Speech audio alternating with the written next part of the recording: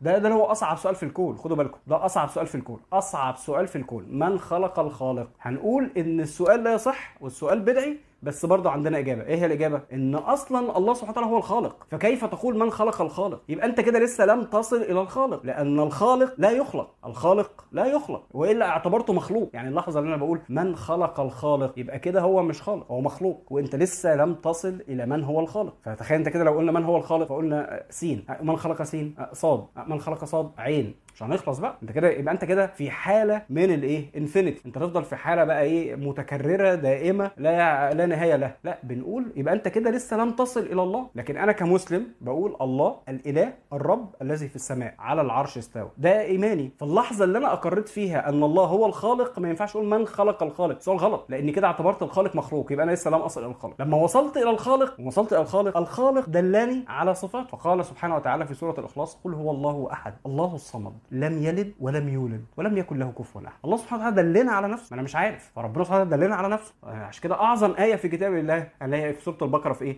آية الكرسي. الله لا إله إلا هو الحي القيوم. لا تأخذه سنة ولا نوم. ليه بقى أعظم آية؟ لأنها دلت على صفات الله. أنا مش عارف. هو أنا إلهي بيموت؟ في غيري قال إن الهه بيموت. وبعد ثلاث أربع أيام بعد ثلاث أيام رجع العرش من السماء. أنا بقى ديني بيقول الله لا إله إلا هو الحي القيوم. لا تأخذه سنة ولا نوم.